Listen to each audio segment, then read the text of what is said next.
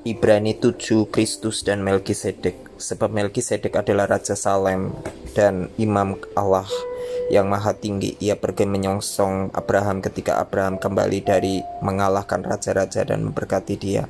Kepadanya pun Abraham memberikan sepersepuluh dari semuanya.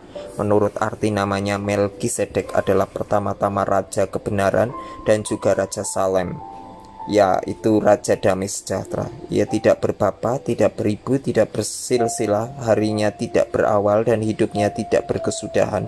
Dan karena ia dijadikan sama dengan anak Allah, ia tetap menjadi imam sampai selama-lamanya. Camkanlah betapa besarnya orang itu yang kepadanya Abraham Bapa leluhur kita memberikan sepersepuluh dari segala rampasan yang paling baik dan mereka dari anak-anak Lewi yang menerima jabatan imam mendapat tugas menurut hukum Taurat untuk memungut persepuluh, persepuluhan dari umat Israel, yaitu dari saudara-saudara mereka sekalipun mereka ini juga adalah keturunan Abraham. Tetapi Melkisedek yang bukan keturunan mereka memungut persepuluhan dari Abraham dan memberkati dia walaupun ia adalah pemilik janji. Memang tidak dapat disangkal bahwa yang lebih rendah diberkati oleh yang lebih tinggi dan di sini manusia-manusia fana menerima persepuluhan dan di sana ia yang tentang dia diberi kesaksian bahwa ia hidup. Maka dapatlah dikatakan bahwa dengan perantaran Abraham dipungut juga persepuluhan dari Lewi yang berhak menerima persepuluhan. Sebab ia masih berada dalam tubuh bapa leluhurnya ketika Melkisedek menyongsong bapa leluhurnya itu Kristus adalah imam yang lebih tinggi daripada Harun karena itu andai kata oleh imamat Lewi telah tercapai kesempurnaan sebab karena imamat itu umat Israel telah menerima Taurat. Apakah sebabnya masih perlu seorang lain ditetapkan menjadi imam besar menurut peraturan Melkisedek dan yang tentang dia tidak dikatakan menurut peraturan Harun sebab Jikalau imamat berubah dengan sendirinya akan berubah pula hukum Taurat itu. Sebab ia yang dimaksudkan di sini termasuk suku lain dari suku ini. Tidak ada seorang pun yang pernah melayani di Mesbah. Sebab telah diketahui semua orang bahwa Tuhan kita berasal dari suku Yehuda dan mengenai suku itu Musa tidak pernah mengatakan suatu apa pun tentang imam-imam. Dan hal itu jauh lebih nyata lagi jikalau ditetapkan seorang imam lain menurut cara Melkisedek yang menjadi imam bukan berdasarkan peraturan-peraturan manusia tetapi berdasarkan hidup yang tidak dapat binasa. Sebab tentang dia diberi kesaksian engkau adalah imam untuk selama-lamanya. Menurut peraturan Melkisedek memang suatu hukum yang dikeluarkan dahulu dibatalkan kalau hukum itu tidak mempunyai kekuatan dan karena itu tidak berguna. Sebab hukum Taurat sama sekali tidak membawa kesempurnaan tetapi sekarang ditimbulkan pengharapan yang lebih baik yang mendekatkan kita kepada Allah. Dan sama seperti hal ini tidak terjadi tanpa sumpah, memang mereka telah menjadi imam tanpa sumpah. Tetapi ia dengan sumpah diucapkan oleh dia yang berfirman kepadanya, Tuhan telah bersumpah dan ia tidak akan menyesal, engkau adalah imam untuk selama-lamanya Demikian pula Yesus adalah jaminan dari suatu perjanjian yang lebih kuat. Dan dalam jumlah yang besar mereka telah menjadi imam karena mereka dicegah oleh maut untuk tetap menjabat imam. Tetapi karena ia tetap selama-lamanya, imamatnya tidak dapat beralih kepada orang lain. Karena itu ia sanggup juga menyelamatkan dengan sempurna semua orang yang oleh dia datang kepada Allah, sebab ia hidup senantiasa untuk menjadi pengantara mereka Sebab imam besar yang demikianlah yang kita perlukan, yaitu yang saleh tanpa salah, tanpa noda, yang terpisah dari orang-orang berdosa dan lebih tinggi daripada tingkat-tingkat surga. Yang tidak seperti imam-imam besar lain yang setiap hari harus mempersembahkan korban untuk dosanya sendiri dan sesudah itu barulah untuk dosa umatnya sebab hal itu telah dilakukannya satu kali untuk selama-lamanya ketika ia mempersembahkan dirinya sendiri sebagai korban sebab hukum Taurat menetapkan orang-orang yang diliputi kelemahan menjadi imam besar tetapi sumpah yang diucapkan kemudian daripada hukum Taurat menetapkan anak yang telah menjadi sempurna sampai selama-lamanya.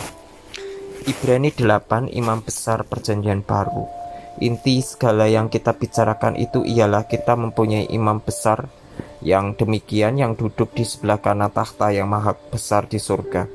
Dan yang melayani ibadah di tempat kudus yaitu di dalam kemah sejati yang didirikan oleh Tuhan dan bukan oleh manusia. Sebab setiap imam besar ditetapkan untuk mempersembahkan korban dan persembahan dan karena itu Yesus perlu mempunyai sesuatu untuk dipersembahkan.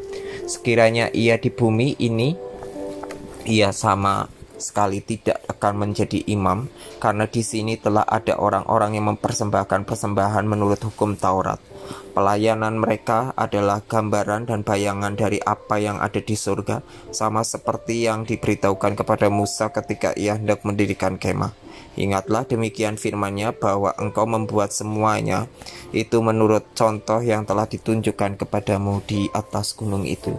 Tetapi sekarang ia telah dapat suatu pelayanan yang jauh lebih agung karena ia menjadi pengantara dari perjanjian yang lebih mulia yang didasarkan atas janji yang lebih tinggi. Sebab sekiranya perjanjian yang pertama itu tidak bercacat tidak akan dicari lagi tempat untuk yang kedua. Sebab ia menegur mereka ketika ia berkata sesungguhnya akan datang waktunya demikianlah firman Tuhan. Aku akan mengadakan perjanjian baru dengan kaum Israel dan dengan kaum Yehuda bukan seperti perjanjian yang telah kuadakan dengan nenek moyang mereka pada waktu aku memegang tangan mereka untuk membawa mereka keluar dari tanah Mesir, sebab mereka tidak setia kepada perjanjianku, dan aku menolak mereka. Demikian firman Tuhan, maka inilah yang inilah perjanjian yang kuadakan dengan kaum Israel sesudah waktu itu. Demikianlah firman Tuhan, aku akan menaruh hukumku dalam akal budi mereka dan menuliskannya dalam hati mereka, maka aku akan menjadi Allah mereka. Dan mereka akan menjadi umatku dan mereka tidak akan mengajar lagi sesama warganya dengan atau sesama saudaranya dengan mengatakan kenalah Tuhan. Sebab mereka semua besar kecil akan mengenal aku sebab aku akan menaruh belas kasihan terhadap kesalahan mereka dan tidak lagi mengingat dosa-dosa mereka oleh karena ia berkata-kata tentang perjanjian yang baru, ia menyatakan yang pertama sebagai perjanjian yang telah menjadi tua dan apa yang telah menjadi tua dan usang telah dekat kepada kemusnahannya. Ibrani 9 tempat kudus di bumi dan di surga. Memang perjanjian yang pertama juga mempunyai peraturan-peraturan untuk ibadah dan untuk tempat kudus buatan tangan manusia sebab ada pers dipersiapkan suatu kemah yang bagian yang paling depan dan di situ terdapat kaki dian dan meja dengan roti sajian. Bagian ini disebut tempat yang kudus. Di belakang tirai yang kedua terdapat suatu rumah lagi yang disebut tempat yang maha kudus. Di situ terdapat mesbah pembakaran ukupan dari emas dan tabut perjanjian yang seluruhnya disalut dengan emas. Di dalam tabut perjanjian itu tersimpan buli-buli emas berisi mana, tongkat Harun yang pernah bertunas, dan loh-loh batu yang bertuliskan perjanjian. Dan di atasnya kedua kerub kemuliaan yang menaungi tutup pendamaian, tetapi hal ini tidak dapat kita bicarakan sekarang secara terperinci. Demikianlah caranya tempat yang kudus itu diatur, maka imam-imam senantiasa masuk ke dalam kemah yang paling depan itu untuk melakukan ibadah mereka. Tetapi ke dalam kemah yang kedua hanya imam besar saja yang masuk sekali setahun dan harus dengan darah yang ia persembahkan karena dirinya sendiri dan karena pelanggaran-pelanggaran yang dibuat oleh umatnya dengan tidak sadar. Dengan ini Roh Kudus menyatakan bahwa jalan ke tempat yang kudus itu belum terbuka selama kemah yang pertama itu masih ada. Itu adalah kia, adalah kiasan masa sekarang.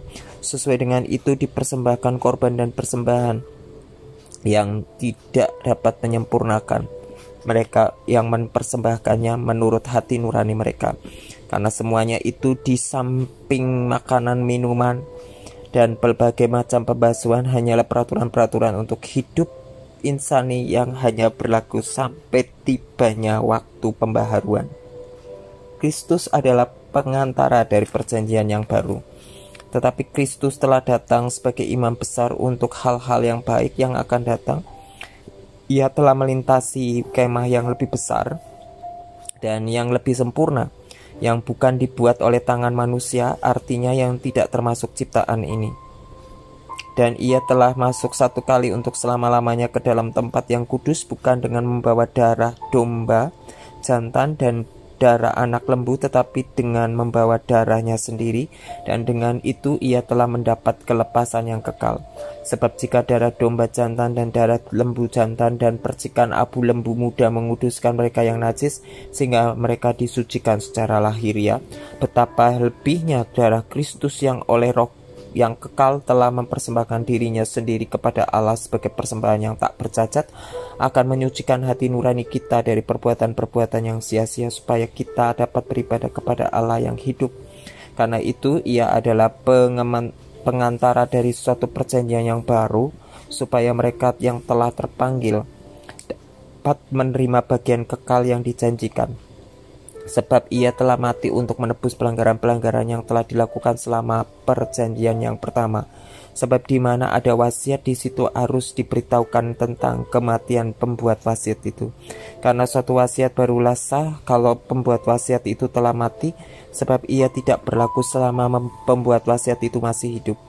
Itulah sebabnya maka perjanjian yang pertama tidak disahkan tanpa darah, sebab sesudah Musa memberitahukan semua perintah hukum, Taurat kepada seluruh umat, ia mengambil darah anak lembu dan darah domba jantan serta air dan bulu merah dan hisop, lalu memperciki kitab itu sendiri dan seluruh umatnya. Umat.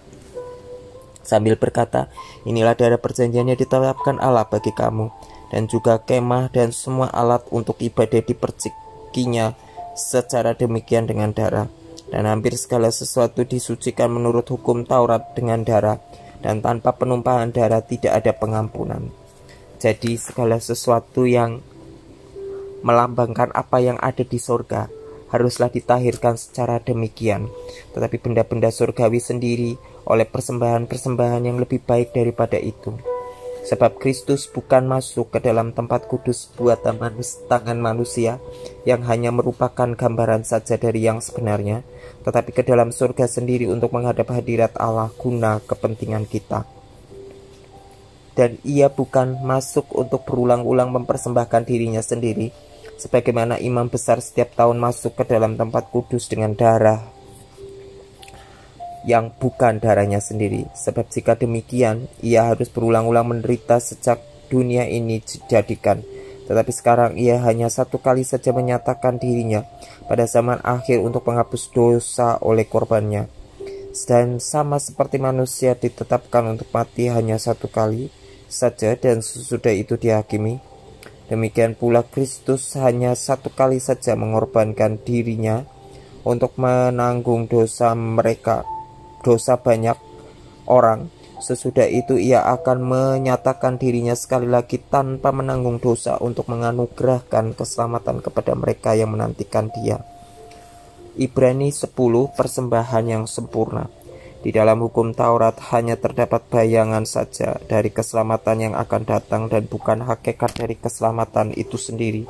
Karena itu dengan korban yang sama yang setiap tahun terus-menerus dipersembahkan, hukum Taurat tidak mungkin menyempurnakan mereka yang datang mengambil bagian di dalamnya. Sebab jika hal hal itu mungkin pasti orang tidak mempersembahkan korban lagi.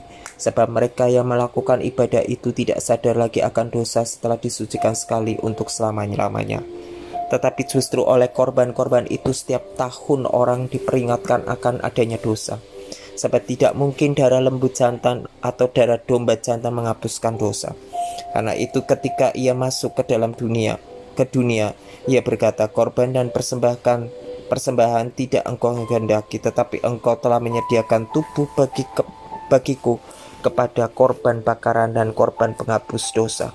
Engkau tidak berkenan, lalu aku berkata, Sungguh aku datang dalam gulungan kitab ada tertulis tentang aku untuk melakukan kehendakmu, ya Allahku. Di atas ia berkata, Korban dan persembahan korban bakaran dan korban penghapus dosa tidak engkau kehendaki, dan engkau tidak berkenan kepadanya meskipun dipersembahkan menurut hukum Taurat. Dan kemudian katanya, sungguh aku datang untuk melakukan kehendakmu yang pertama, ia harus hapuskan supaya menegakkan yang kedua. Dan karena kehendaknya ini lah kita telah dikuduskan satu kali untuk selama-lamanya oleh persembahan tubuh Yesus Kristus. Selanjutnya setiap imam melakukan tiap-tiap hari pelayanan dan berulang-ulang mempersembahkan korban yang sama yang sama sekali tidak dapat menghapuskan dosa.